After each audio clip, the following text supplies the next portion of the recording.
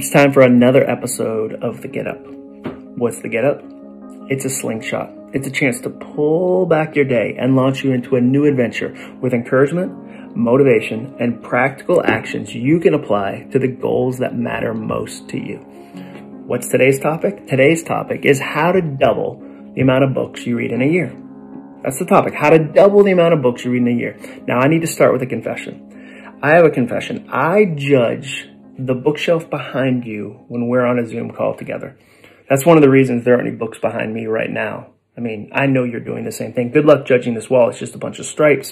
When I'm not staring at my own face, which I am apparently obsessed with during video calls, I'm just like, look at my face. Does my face look okay? Do I look too mad? Do I need to nod more? Do I need to laugh more at jokes? Are people seeing my face? Even if there's 20 people, I'm obsessed with my face when I'm not staring at my face. I'm looking over your shoulder to see what you've been up to with those books. They don't have to be leather bound. They don't have to be thick as phone books, but I am taking mental notes to see what's haunting your bookshelves these days. It's not a big deal if you don't have any. I'm not worried about that. The only thing that worries me is if I can see a piece of driftwood right over your shoulder that has live, laugh, love painted on it in a whimsical font. That, that concerns me a little bit. Maybe you want more books in your life though. Reading more is a popular goal. Millions and millions of people chase that goal every year. And as an author, I'm glad they do because babies need shoes.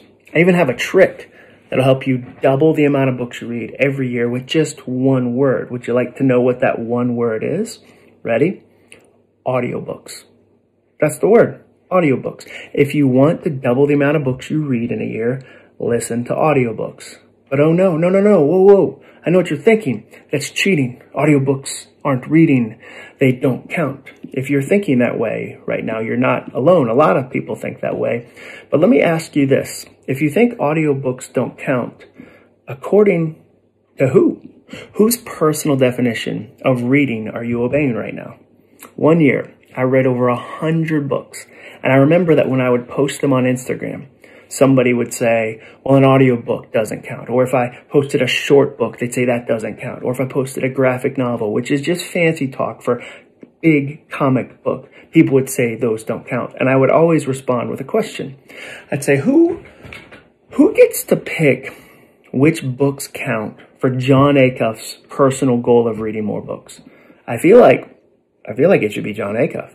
I feel like I should be 100% of the people on that committee. If I say an audiobook counts for Jon Acuff's goal of reading more books, guess guess what? It, it counts. I'm I'm Jon Acuff. If I say a 100-page gift book counts for Jon Acuff's reading goal, guess guess what?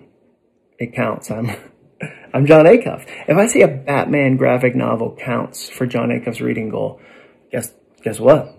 It counts. I'm I'm Jon Acuff. I'm also an author who works his butt off on his audiobooks. Some of you have listened to them.